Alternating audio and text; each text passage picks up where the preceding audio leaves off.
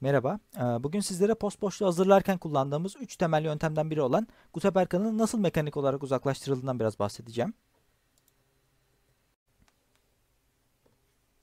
Öncelikle mekanik olarak Gutenberg'e uzaklaştırma yöntemi neyi denir buna göz atalım.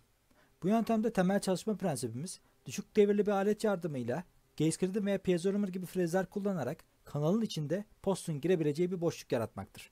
En kaba tabirle bunu böyle tanımlayabiliriz. Mekanik uzaklaştırma yöntemi doğru kullanıldığında en etkin Gutenberg'e uzaklaştırma yöntemi olarak kabul edilebilir. Fakat yanlış kullanıldığında lateral perforasyon riski barındırmasından dolayı dişe en fazla zarar verebilecek yöntemdir. Bu yöntemde apikal çıkamayı bozma riski kimyasal yöntemlere göre daha düşüktür ki bu da en önemli avantajlardan biri olarak kabul görebilir.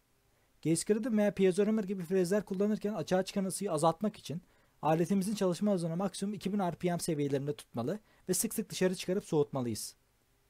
Son olarak frizin giriş açısını saptamak için mutlaka işlem yapılacak kanalın anatomik yapısını saptama amacıyla röntgeni gözden geçirmeliyiz. Gaze gridin ve piezoramer frezlere yakından göz atalım.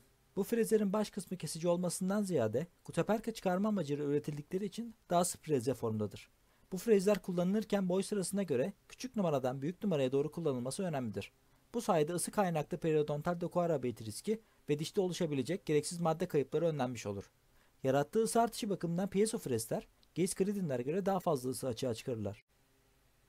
Frezleri nasıl kullanmalıyız?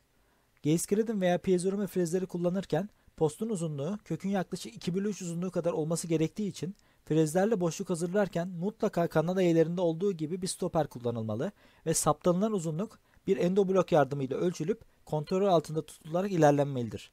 Aksi takdirde mikro sızıntı veya perforasyon riski oluşabilir.